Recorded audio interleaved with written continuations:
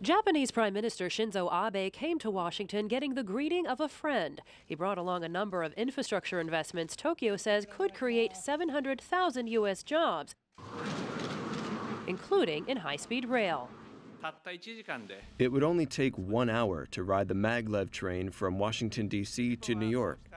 Japan, with our high level of technical capability, we will be able to contribute to President Trump's growth strategy.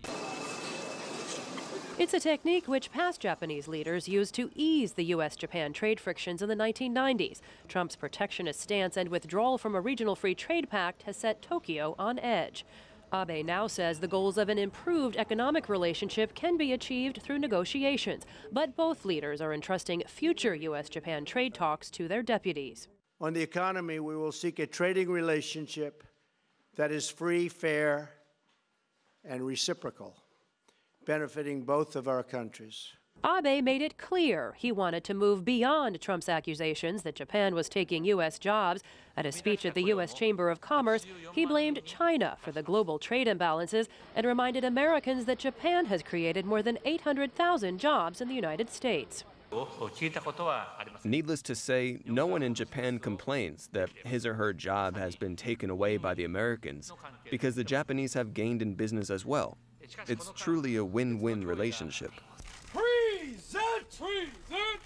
But Abe also needs a win-win on the security relationship between Tokyo and Washington. On the campaign trail, Trump called their mutual defense pact into question, asking Tokyo to pay more for U.S. troops stationed there, even if it means Japan develops nuclear weapons. We are committed to the security of Japan and all areas under its administrative control and to further strengthening our very crucial alliance.